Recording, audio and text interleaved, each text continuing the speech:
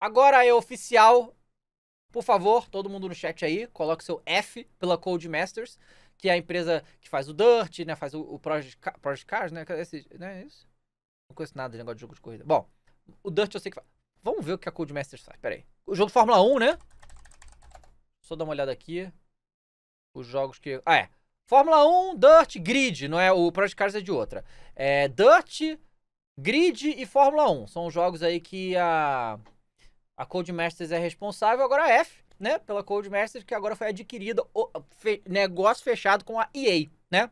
Então esperem aí, né? Todas as coisas que a EA gosta de fazer com seus jogos, né? E principalmente é, é pegar as empresas, é, enfiar tanta coisa horrível nos jogos delas que os jogos são um fracasso e depois ela dissolve os estúdios e fala que é culpa dos desenvolvedores. Ah, esse é o padrão da EA nos últimos 20 anos. Ela só fez isso com todas as empresas que ela adquiriu.